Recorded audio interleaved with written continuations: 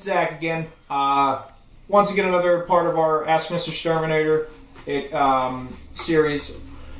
Uh, I just got off the phone again with another customer who has bees in the winter, and you know, um, she's asking, "Hey, why do I have this problem in the wintertime? I, I thought all the insects died, etc."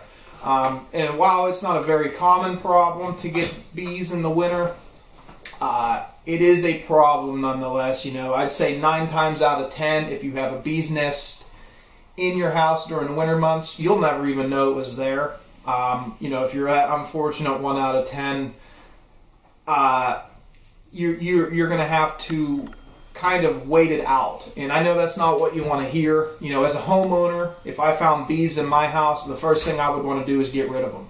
As a professional in this industry, I have to advise against that.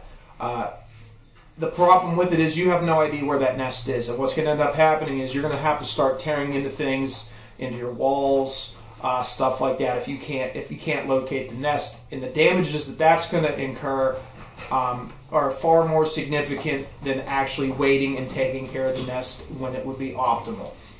Um, so at the end of the day, I know it stinks to think about, but you kind of have to wait it out till it warms up. We could stop out and you know take care of it.